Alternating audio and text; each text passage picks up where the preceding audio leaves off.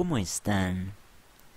En este video vamos a desarrollar el solucionario del primer examen CEPRE-Ciclo Primera Selección 2025. Este examen ha sido realizado el domingo 13 de octubre del año 2024.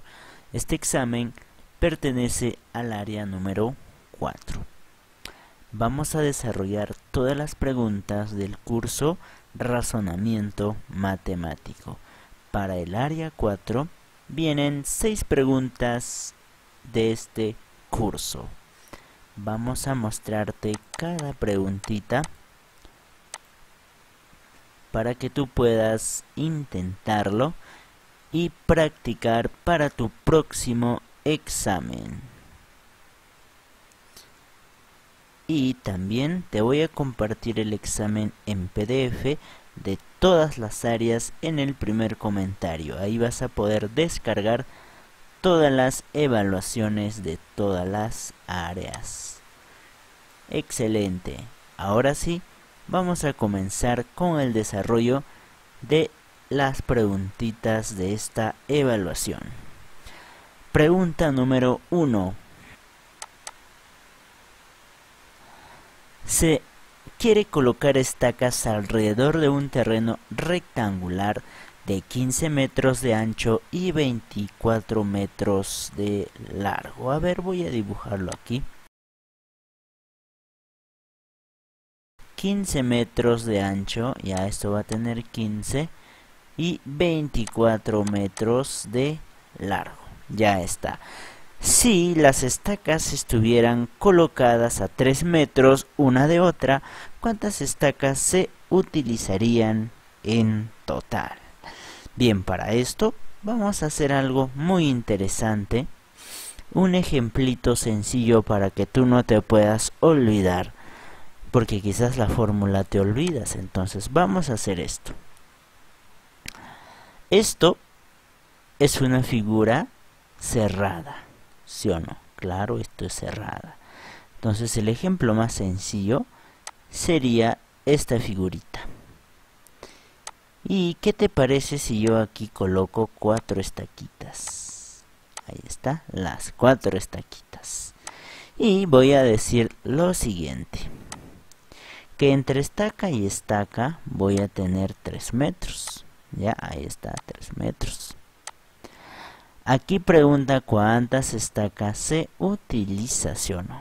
Entonces, ¿yo qué podría hacer? Mira, el número de estacas es igual a quién? La longitud total, puedo calcular el perímetro. Toda la longitud total, ¿cuánto es? 3, 3, 3 y 3. ¿Cuánto es? 12. Entonces aquí colocaré longitud total. ¿Ya? Y ¿cuántas estacas puedes contar? 1, 2, 3, 4. Allá. Entonces, como la longitud total es 12, y como el número de estacas es 4, 12, ¿entre qué valor me sale 4? Ah, entre 3. Pero ese 3, ¿qué cosa es? Ah, eso es la longitud entre estaca. ¿Ya? O longitud unitario yo le coloco. ¿Ya? Entre cada estaca la longitud, ¿cuánto es? 3. Ahí está, ¿ve? Entonces tu formulita ya salió. El número de estacas es igual a la longitud total entre la longitud entre estaca. Aquí, como esto es una figura cerrada, voy a usar la misma formulita. ¿Qué digo entonces? El número de estacas es igual a quién? ¿Qué dice acá? Longitud total o el perímetro, ¿sí o no? Ayúdame a calcular el perímetro de esta figurita. Si esto es 15, esto también va a ser 15. Si esto es 24, aquí también va a ser 24. ¿Por qué? Porque es un rectángulo. El perímetro sería 15 más 15, 30. 24 más 24, 48. 30 más 48. ¿Cuánto es? 78. Ah, eso es la longitud total. Ahora el dato de longitud entre estaca aquí te está dando. ¿Cuánto es? Dice 3 metros. Por lo tanto, esto dividimos entre 3. Esa división que me va a salir la cantidad de estacas. 78 entre 3. ¿Cuánto es? 26. Por lo tanto, mi respuesta aquí sería la letra C de casita. ¿Ya? Correcto. Vamos a seguir avanzando. Preguntita número 2 de esta evaluación. A ver, ¿qué nos trae la preguntita número 2? Se define bolita de x 3x al cuadrado más 5x menos 6. Determine el valor de E, dice, ¿no? Bien, entonces empezaremos. Nos está pidiendo bolita del 2, entonces acá yo lo voy a anotar, ¿ya? Bolita del 2 según la regla de correspondencia que es igual. El triple del cuadrado de adentro, o sea, sería el triple. ¿Quién está adentro? 2, pero todo eso al cuadrado. Luego me dice más 5 veces el que está adentro. ¿Quién está adentrito? 2. Y a esto le vamos a quitar 6. Muy bien, a ver, vamos a calcular cuánto nos sale. 2 al cuadrado es 4, 3 por 4, 12. 5 por 2, 10. Y a eso le quitamos 6. 12 más 10, 22 menos 6, 16. Ya, por lo tanto, estito cuánto me va a salir? 16. Ahora me falta bolita de 1, pero hay 2, ¿no? Entonces primerito calcularé el de adentro. A ver, ¿cuánto me sale este de adentrito? Usaré la reglita que dice 3 veces el que está adentro al cuadrado. Más 5 veces el que está adentro menos 6. 3 por 1 al cuadrado es 3 más 5 menos 6. ¿Cuánto me da todo esto? 3 más 5 es 8. 8 menos 6 es 2. O sea, la bolita del 1 es 2. O sea, esto estaría quedando más o menos así. Pero como nosotros ya sabemos que la bolita del 2 es 16, finalmente mi respuesta como sería 16 más 16. ¿Y eso cuánto es? Eso me da 32. Marcaré la letra D. Muy bien. Seguimos avanzando con la preguntita número 3 de esta evaluación. A ver, vamos a anotarlo. Dice que todo esto es falso y determina los valores de verdad respectivamente de cada uno de ellos. Ya, mira. El conector es la condicional, la flechita, ¿no? y dice que sale falso. Recordemos, cuando el conector es esta flechita, para obtener un valor de falso, el primero que tiene que ser verdadero, el segundo que tiene que ser falso. Solo así nos va a salir falso. Ya nada más esto hay que recordarnos. Por lo tanto, todo esto de acá, mira, todo esto de acá, que tiene que ser? Verdadero.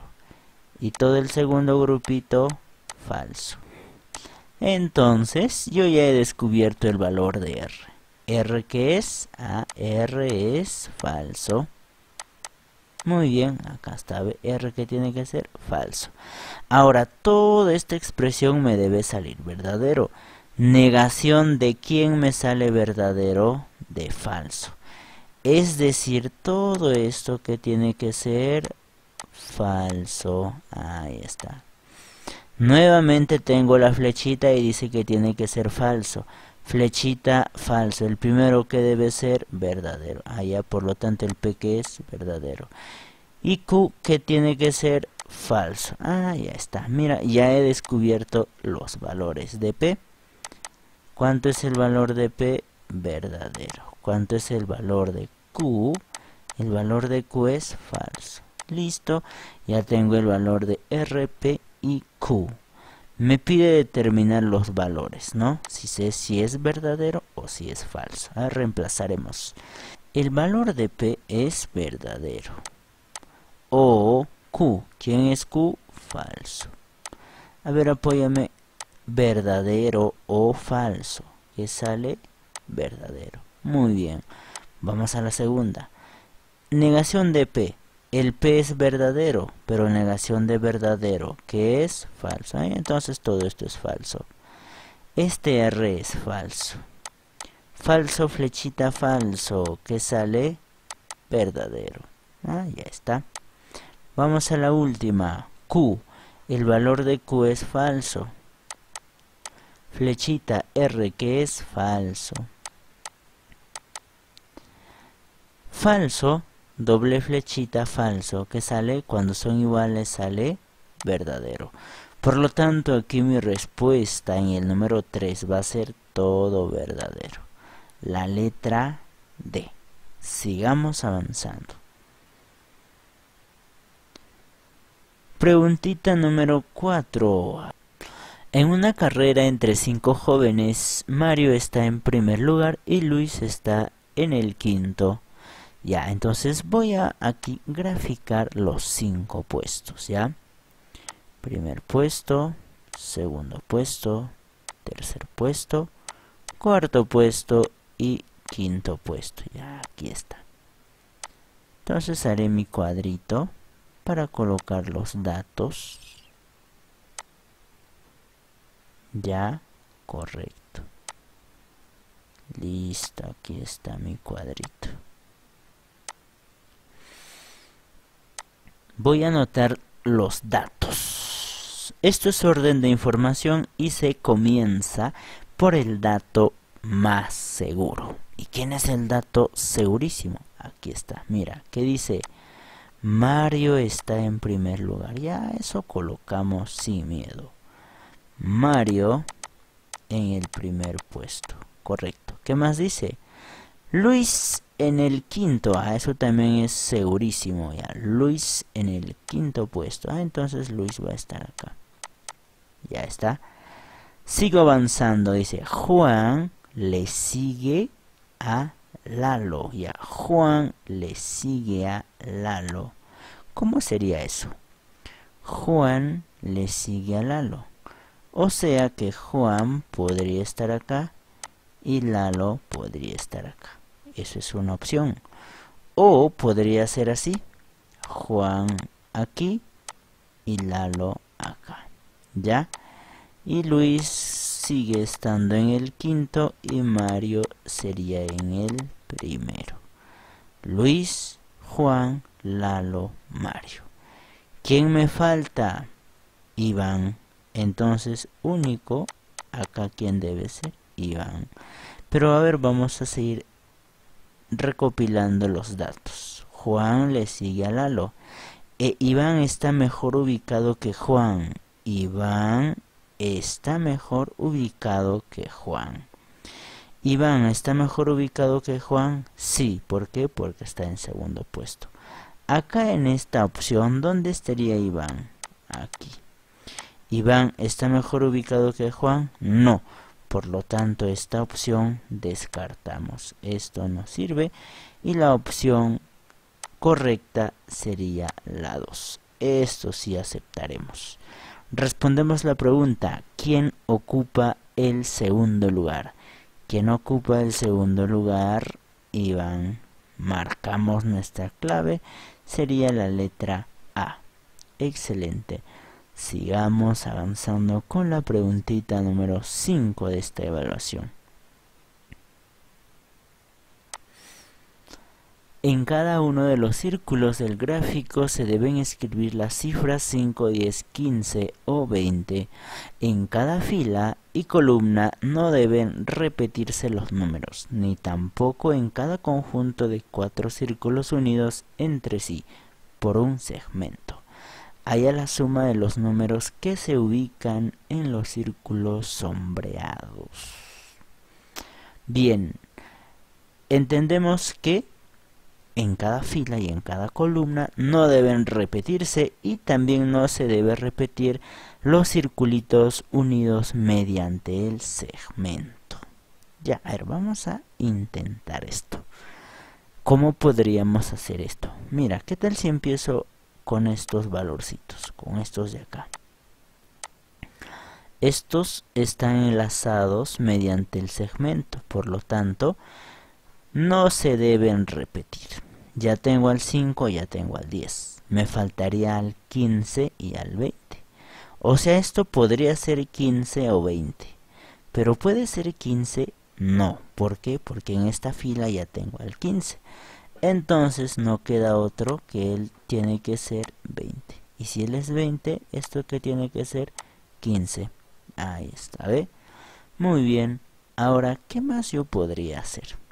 Mira, vamos por acá. ¿Qué tal si vamos por esta columna de acá? Mira, en esta columna ya tengo al 5 y al 20. Es decir, me falta el 10 y el 15. Aquí, ¿puedo colocar al 10? No, ¿por qué? Porque en esta fila ya está el 10, entonces solo me queda el 15. ¿Dónde estará el 10? Aquí. Ahí está. Excelente. También puedo rellenar esto, ¿ya sí o no? Claro. A ver, ¿cómo sería? Ya tengo al 10 y al 15, o sea, esto puede ser 5 o 20. ¿Puede ser 20? No, porque aquí está el 20. Entonces solo queda el 5. 5, 10, 15. ¿Quién queda aquí? 20. Ahí está, ¿ve? Listo, mira. Aquí está el 5, 20, 15. ¿Quién me quedaría aquí? 10. Ahí está, mira. Estos están enlazados mediante el segmento. 5, 10, 15. ¿Quién estaría acá? 20. Ah, mira, ¿ve? ¿Qué más yo podría hacer? Ya, podría trabajar acá en esta columnita. Ya tengo al 15 y ya tengo al 20. Me faltaría al 5 y al 10. Acá puede estar el 5. No, porque ya está el 5. Entonces acá quién va? El 10. Entonces, ¿qué me queda? Que eso sea 5, nada más. Mira, ya tengo al 5, 15, 10. ¿Quién es esto? 20. Listo, los otros numeritos no es necesario completar, porque solo te está preguntando los que están sombreados. ¿Cuánto es? Él es 20, 5 y 5. 20 más 5 más 5. ¿Cuánto es? 30. Y marco la letra C. ¿Ya? Muy bien. Sigamos con la última pregunta de esta evaluación. Pregunta número 6. Calcula la suma de los números ubicados, dice, en la fila 21. Ya, vamos a calcular los números de la fila 21. Solo los de la fila 21. ¿Ya? A ver, ¿qué tal si lo hacemos de esta manera? Mira, yo voy a escribir acá arribita. En la fila 1 la suma, ¿cuánto es? Bueno, 1. Ya está. Me apoyas en la fila 2. ¿Cuánto es la suma? 2 más 3, 5. ¿Está? Seguimos avanzando. De la fila 3. ¿Cuánto es la suma? 7 más 3, 10 más 5, 15. ¿Está? Seguimos. De la fila 4, o sea, estos de acácito, ¿cuánto suman? A ver, 9 más 11, 20. 24 más 13, ¿cuánto es? A ver, vamos a sumar. 24 más 13 me sale 37. Ya esto es 37. De la fila 5, ya también apóyame. ¿Cuánto será la suma de la fila 5? 19 más 21 me va a dar 40. Ahí acá ya tengo la suma 40. 15 más 5, 20. 40 más 20, ¿cuánto es? 60. Más 17, 77. Ah, ya va a ser 77. Muy bien. Así sucesivamente dice, ¿de qué fila me está preguntando? ¿De qué fila te pide? De la 21. Excelente. Ahora, ¿qué hacemos aquí? ¿Sabes? Hay que buscar qué clase de sucesión es esta. A ver, intentemos. 1 más 4 me da 5. 5 más 10 me da 15. 15 más 22 me da 37. 37 más 40 me da 77. Como vemos, esto no es una sucesión lineal, así que no te preocupes. Hay que seguir avanzando. 4 más 6, 10. 6 más 12, 22. 22 más 18 es 40. Tampoco es de segundo grado. No te preocupes, sigue avanzando. 6 más 6, 12. 12 más 6, 18. Ah, mira. Esto es una sucesión de tercer grado.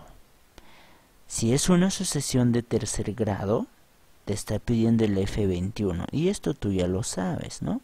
A ver, te voy a hacer recordar. Este F1 es como si fuera el término 1. El F2, término 2. F3, término 3.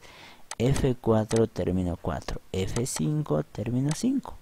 F21, ¿qué término te pide? El término 21. Y tú ya sabes cómo se calcula el término enésimo para una sucesión de tercer grado. A ver, recordemos. Tu querido maestro seguro te ha dicho, vas a trabajar con todos los primeritos. ¿Sí o no? Sí, claro que sí. Y este primerito, ¿cómo se llama? Término 1. Este que viene, ¿cómo se llama? M1. Este de acá se llama R y este de acá sería Q. ¿Ya? Listo. Y voy a escribir la formulita para calcular el término enésimo de una sucesión de tercer grado. A ver, acá lo hacemos. El término enésimo para una sucesión de tercer grado es así. Término 1 más m1, combinación de n-1 de 1 en 1, más r, combinación de n-1 de 2 en 2, más q, combinación de n-1 de 3 en 3. Como tú ya lo tienes cada valor, ya sabes quién es M1, ya sabes quién es R, ya sabes quién es Q, ya sabes quién es N también. Lo único que queda es reemplazar. Reemplazaremos. ¿Qué término quieres? 21. Ah, entonces sería así. El término 21 que es igual al término 1. ¿Quién es? 1. Más. ¿Quién es M1? 4. n-1, este es n, este es n-1, este es 21. ¿Quién estará acá? 20. Aquí sería 1 más. R, ¿quién es R? 6. Listo. Esto va a ser 20 y esto va a ser 2. Q, ¿quién es Q? El último, ¿no? La razoncita. O sea, esto es 6. ¿Quién es acá? 20. ¿Cuánto es acá? 3. Ya está. Tú eres experto realizando combinaciones. Realizando toda esa operación, ¿qué valor nos sale el término 21? 8061. Y esto sería nuestra respuesta. ¿Qué letra es? La letra B de buena. ¿Ya? Muy bien, estimados amigos, hemos culminado con el desarrollo de todas las preguntas del curso de razonamiento matemático del examen del área 4. Gracias por acompañarme. Nos estaremos encontrando en un próximo video. Te deseo lo mejor y muchos éxitos.